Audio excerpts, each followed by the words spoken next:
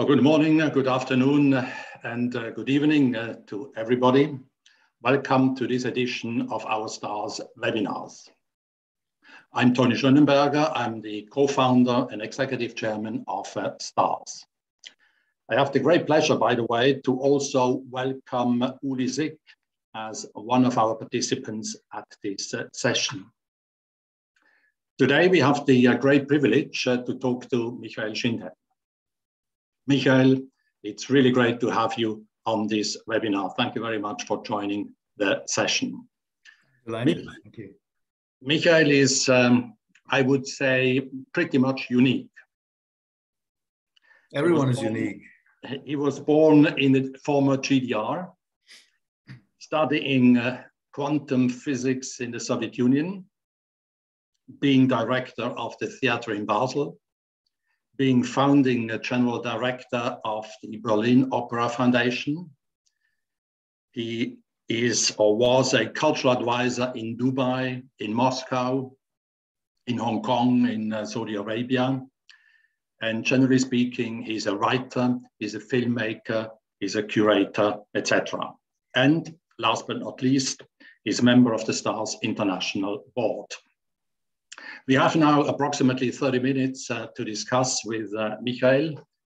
Uh, I will take the privilege to ask the first couple of questions. If you have any questions for Michael, please use the, the Q&A feature below to type in your question. So let's go right into medias res. Uh, Michael, looking at your biography, and I mentioned uh, a few points at least, I should also mention one other thing, that you studied uh, quantum physics together with Angela Merkel to become the federal chancellor of uh, Germany later on. Both of you actually moved from science to the world of politics, the world of culture, the world of art, respectively.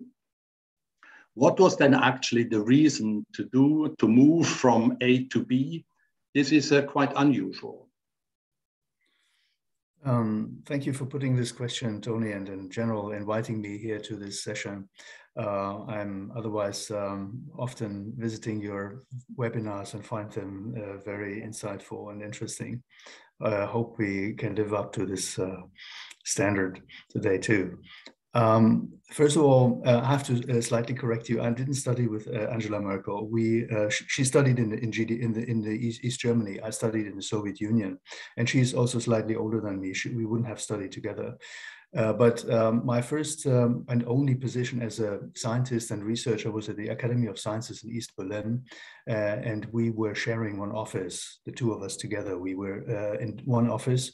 She was already a few years ahead uh, as a researcher and was about to uh, make a PhD, um, whereas I was still in the beginning. So I, I, just was a freshman coming back from the Soviet Union after five years. It was middle of the 1980s uh, at the time when uh, in Germany, in East Germany, things become became already wobbly, uh, and it was uh, kind of the last and uh, maybe fatal phase uh, of the system.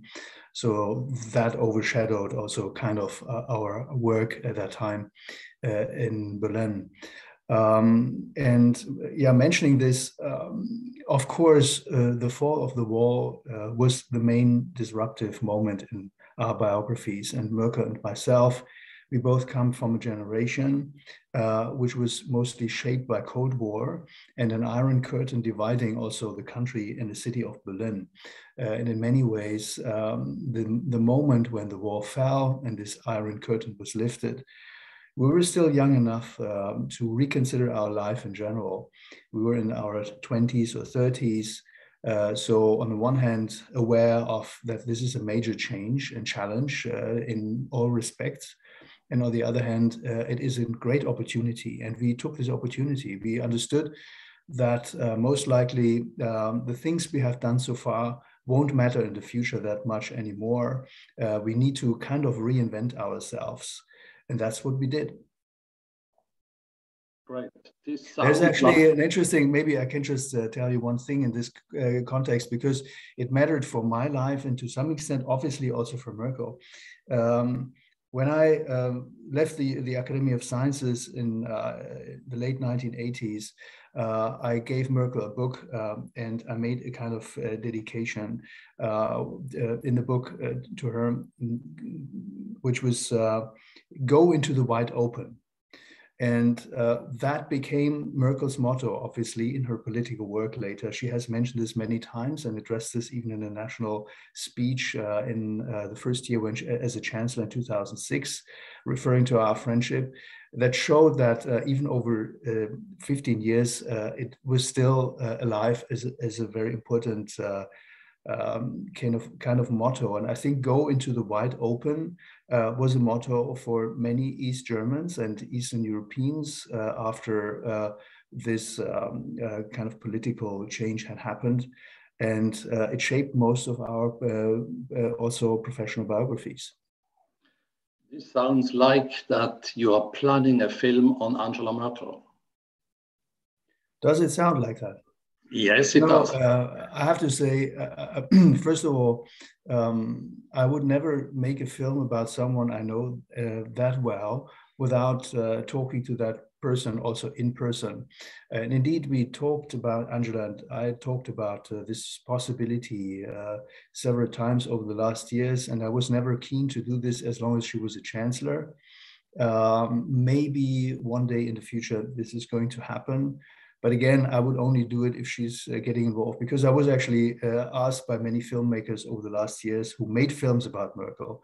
And usually she was not present in the film. And I don't think that this is the way how I would approach it. In any case, we are looking forward to having Angela Merkel on one of our star symposia, be it in Shenzhen, Singapore, or in Switzerland one day. Okay, uh, Michael, next question. Uh, I introduced you as a person of uh, art, as a person of culture. Uh, generally speaking, and uh, this was also a, always a question I, I ask myself, what could managers learn from culture, from art? Well, uh, it's a bit a tricky question at this moment where culture is in a kind of defensive mode um, because it is particularly hit by the crisis uh, of the pandemic. I think um, I have to admit, uh, I was always a critic uh, over the last 10, 15 years uh, about the mental state uh, of uh, cultural workers and the cultural landscape in general, because I felt they more and more remained in a kind of splendid isolation from the rest of the society, felt that they're representing both at the same time tradition and innovation. And uh, it didn't really play out this way, as we can see now during the pandemic, where um, cultural institutions were regarded as not as relevant as many others were. So, in other words, uh, I think uh, the cultural sector is in a kind of uh, defensive mode and needs to reconsider their role in the society and what, what, kind, what kind of tasks they have you know, if you look at cities in Europe in particular, but also in North, North America or even in, in, other parts of the world, cultural institutions often are located in the center. And that gives you the impression that they are really at the heart of the society. But I'm not sure if that is really uh, true uh, yet. And I think we have to regain and re-win also uh, the interest and uh, the relevance uh, we uh, enjoy to have. However, having said that, I have to admit that I do think that uh, in particular uh, the business world and maybe our life in general today is extremely driven by optimization, by efficiency, or let it bluntly, uh, by numbers, by figures. And I do think that um, in the future, maybe already in the present, it shows that this kind of uh, lifestyle um, is maybe not really appropriate uh, to uh, meet the challenges of our time. I do think that figures are extremely important. As you said already, I'm a scientist. At the same time, I, I'm someone who really believes that the only resource on the planet which is inexhaustible is the human resource. And the human resource uh, is composed not only of uh, the logic part, uh, but also of an emotional part, of a social part. And I think leadership uh, requires much more understanding of the social uh, and the emotional part. uh, if we want to cope with the challenges to come. We can see this already currently. People, on the one hand, understand that it was necessary to go to all these uh, lockdowns and restrictions, which are kind of processes of optimization. But at some at some point, people get exhausted of it, and they need to find other need. To, they want other answers from the leadership, and that's why I think uh, this is one of the lessons to learn from the from the pandemic too. So you would go that far to say that culturally minded managers and executives are better managers? Well, that's maybe a, a little bit uh, sounds like an advert uh, to me, uh, but I think um, in if you speak about the role of uh, at least culture in its holistic understanding, that is not only art, but that is sports, that is media, that is maybe even science and research, then indeed I think uh, we need to have a leadership which uh, encompasses these uh, different knowledges because our world has become uh, that complex. And I do think that uh, a strict um, doctrine of uh, the concept of optimization is problematic. Turning to the film, why do you have such a strong focus or a major focus on film, particularly recently? Well, um, I think it takes some time, or it took for me at least some. As you know, I, I had to uh, a, a, longer trajectory to go uh, to, to, get there. Maybe also, uh, I, I, did many other things before. I was running theaters, uh, and uh, I'm still involved in, in many cultural efforts. Um, I'm a, I'm a writer, but in the first, um, um, uh, I think first and foremost, I'm a storyteller. And um, filmmaking is, of course, a very complex form of storytelling, allowing, therefore, also a much more uh, uh, diversified uh, uh development. And I'm uh, a documentary filmmaker in the first place, which means even if we use sometimes fiction, our interest is the reality and the reality is not a one-to-one uh, thing you know? It's not if you uh, the reality is not to everyone the same. It's not uh, the same even for yourself all the time as you know yourself from by experience. So in other words um, as a documentary maker filmmaker what matters most is that you find the right perspective uh, the right angle to look at this reality uh, to, to discover something in this reality. You're always on a hunt for the moment of authenticity. Uh, and at the same time, uh, film is, of course, you know, it is the picture, it is uh, intellectual or uh, kind of social exchange and content, it is music. so it has a great complexity to share stories with other people and uh, that is what i like most that you have this uh, you know these many tools uh, to, to do this and uh, you go out in the field uh, not knowing what's going to happen very often. It's really like in a hunting uh, exercise. And uh, you're not alone. You're with a team. And that is also an interesting experience. As a writer you're sitting and, and have to create almost everything on your own. And here uh, in film you enjoy actually uh, the views of others. And that helps also to create a more complex product in your films, there is now a major focus again on China. Um, it's the bird's nest on the Olympic Stadium in uh, Beijing. It's the Chinese lives of Uli Sigg. It's the new film will be M plus uh, the Sigg collection. Now the question is, uh, what are the major or were the major challenges for you as a filmmaker and what was the major result actually of these uh, three films? Well, um, maybe as you mentioned already, uh, I should probably say again that uh, I studied in the Soviet Union uh, in the late 70s and 80s, uh, uh, in the early 1980s, um, at a very different time, very different from today.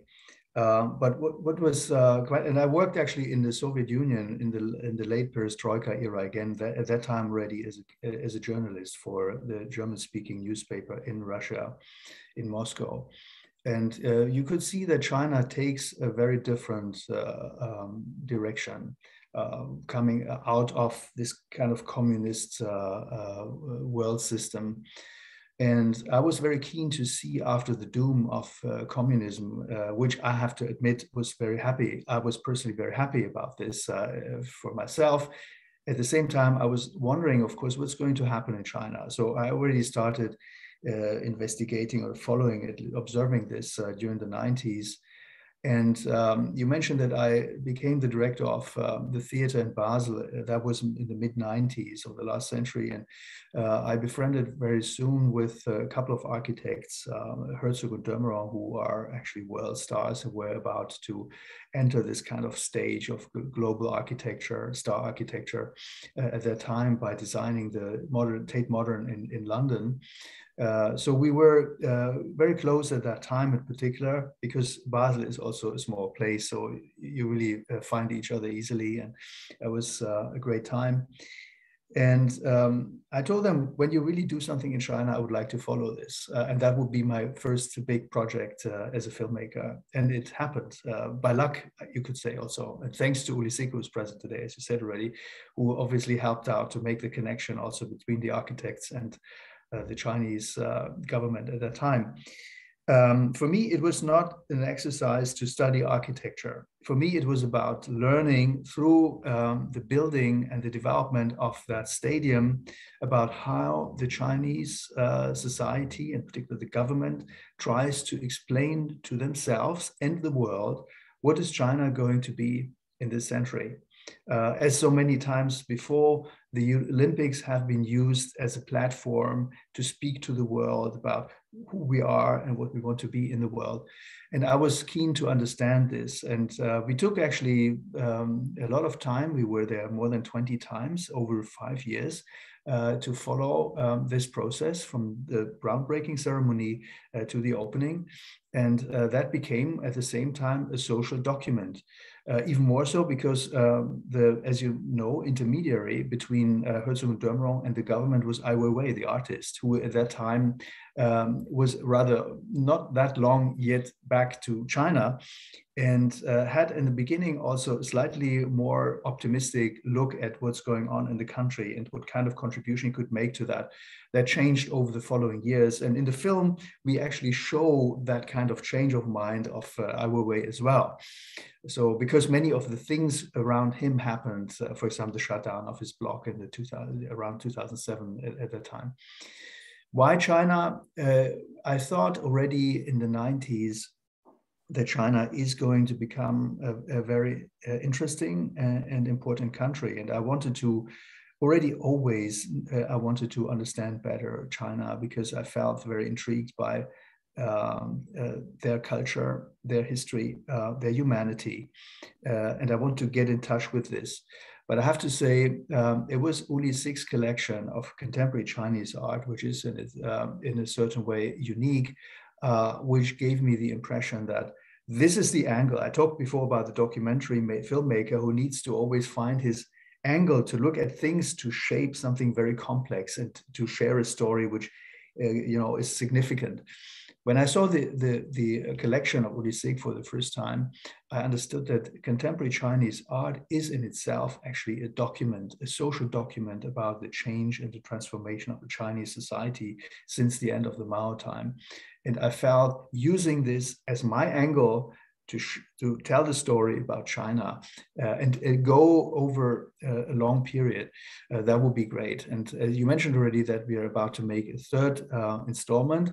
So in all together would be a trilogy of films, um, sort of showing how uh, architecture, but even more so contemporary art, reflect the transformation of the, um, Chinese society over a span of 20 years, because we started the early 2000s, uh, representing always the same protagonists, Herzog de Meuron, Ai Weiwei, Uli Sigg, and a few others, um, because also the new film will include them. Herzog de Meuron have designed the museum in Hong Kong, and Uli donated the collection. Well, the uh, latest uh, project of the M Plus um, uh, collection, and we were talking about it before the, the webinar. You are confronting, uh, uh, you are confronted by major challenges right now in Hong Kong. When can we uh, expect to see the film, and what are the challenges for you as a filmmaker regarding this uh, M Plus uh, uh, Sigg collection film?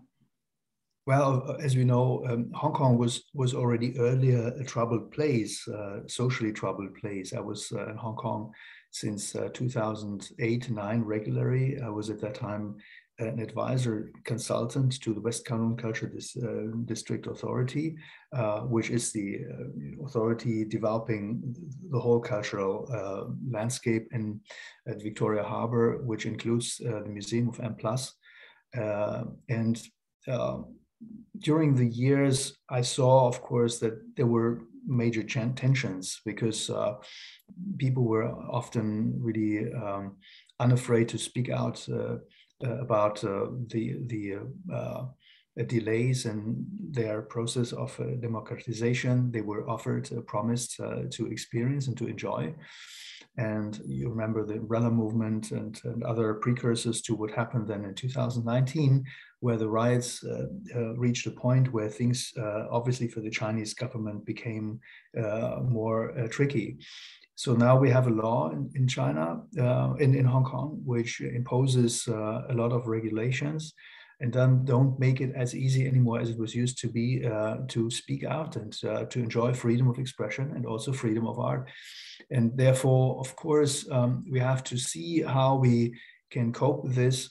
On the one hand, of course, we want to show this but on the other hand, I still think that the museum and uh, the organization uh, represent um, a, a, very bold move of the city of Hong Kong to position themselves uh, as a global place and hub uh, for creativity and also for representing Chineseness uh, in a very particular way. And uh, I always loved Hong Kong uh, for many reasons. many of our participants probably will understand. And that's why I have a lot of sympathy for this. I have to say also, and as an East German and a former Berliner, for me, Hong Kong was always a little bit like West Berlin, uh, because uh, in the Cold War times, you know, you, you actually received all uh, the stuff of the West through one uh, single gate, and that was West Berlin. That was the showcase of the West in East Germany. And Hong Kong, in some way, played a similar role in China over a very long time. I would also slightly touch another film your latest uh, project, actually, the film on the uh, two biotech uh, founders. Why did you do this film, first of all, and what are your lessons learned? Well, first of all, I have to give the credits to Hans Hingartner, who may actually be here present today too, uh, one of our uh, dear board members um, without him uh, being so close to them and a mentor to them, I wouldn't have uh, been able uh, to make that film. And only because I knew of this connection, uh, I this came to my mind because I imagined that these guys don't really have time for someone like myself who drags them out of the laboratory or their research uh, uh, work and tries to share the story. At the same time, I think um, it is an extraordinary story. There's no question that uh, they are, for me, representing um, a new type of a scientist to some extent, also. Uh, something I have to admit, too, as a German, uh, I'm Swiss, but I'm German too. And I have to say, as a German, I'm pretty proud of these people because as you know, they're coming from Turkey, and that shows something about the German society uh, that it was possible that these people made this kind of career. Uh, and also were supported by investors and uh, governmental ins institutions that they could make the research. In the end of the day, it is a great uh, story about luck and about genius. And that's always something which attracts me. And I think um, they uh, have achieved a long lasting uh, heritage, a legacy. And um, I'm, I could actually make a second installment already because they are now about to make this uh, adapted vaccine, which is again a very important thing. So they are in the second kind of project Lightspeed uh, involved uh, currently. Uh, and at the same time, I have to say, for me, it was a major message beyond science that sometimes the disruptive innovation doesn't come from the center of a industry, but it may come from the periphery. It may come from people who are doing some things out there and nobody knew about it. And suddenly it becomes important for everyone. And that was actually a very great lesson uh, for, of the film. You You also had been, and you still are, a cultural advisor in many different locations, actually. I, I mentioned Dubai, Moscow, Saudi Arabia, etc. Now, the question would be um, Did you want actually to use culture or your job at that time as a cultural advisor as a tool to bring along some change, some changes in these uh, rather autocratic societies? Well, I'm working also, uh, by the way, in Berlin or in, in Switzerland. So um, it's not that I'm exclusively in um, those countries. However, yes, I'm also currently working again uh, very intensely in Sa Saudi Arabia because many things are happening there. And I think uh, it matters to be present in this. You always have, as an individual, uh, as, as well as, as an institution, you have to make choices and you have to uh, always evaluate if this is a place to go and if you feel safe also politically uh, or not to go there. I felt safe to go to Saudi Arabia a few years ago. Uh, I'm not there as an executive, uh, but I'm uh, advising the government on the cultural development of their most important uh, project, which actually now they announced, uh, the Ministry of Culture just this week announced that they want to become the cultural center of the whole Middle East. Um, and I'm not sure if this is going to happen, but what I can see is there's an enormous transformation in many of these developing countries. And often governments uh, with a more kind of um, open-minded uh, uh, concept understand that culture is a tool for creating a new uh, social or societal openness. Culture is maybe even an incubator uh, for testing social changes and transformations. And I think uh, that is something great. And um, I have to say, if the Western world has something to offer uh, to other countries, then it is exactly this, because we made the same experience in our societies maybe 100 to 200 years ago. Enlightenment started with the development of culture and arts. And that's why I do think that um, we, as Western uh, art workers or cultural workers and cultural experts, uh, should actually take the, opportunity to get involved in this, to shape it in a way that the uh, experiences of our culture sort of remain and uh, become also a kind of part of, of this uh, of this of these new projects. We are running out of time. Maybe the uh, last more personal question, Michael. Listening to you, I think we all got the impression that you are a very, let's call it, ambitious person. What is your final ambition, professionally speaking? What is your major message? Hmm. Um, well, I, I, really believe uh, uh, I'm a very optimistic person, I have to admit, uh, despite many setbacks in my life. And if you do many different things, you have to always cope challenges. Uh, I'm a very optimistic person. And I, as I said in the beginning, really believe in the human resource. I'm very keen to always study uh, what the human resource can achieve. And I do think that um, we, um, I'm, I'm, I'm now 61 and I don't know how long I'm going to last, but uh, I'm, I think I'm, I'm not uh, finished in discovering and exploring and observing this uh, uh, human resource and its capacity now a very, very final question, Michael, from uh, Jens Osberger, just coming in. Uh, I just read it. Which culture channel could serve us in embracing Russia or root a peaceful and thriving relationship going forward? Which cultural channel? Which culture channel could serve us in embracing Russia? Mm. Um, well, I, I, do think there are many cultural channels. There is an enormous exchange between Russia and the Western world, and in the cultural sphere, it never really was interrupted. Um, I do think that for for Russia applies uh, the same story like for anyone else, an on par relationship. That's what matters. And the good thing is in culture, nobody would dispute the importance of the Russian culture. They had some of the greatest writers, filmmakers, artists, whatsoever.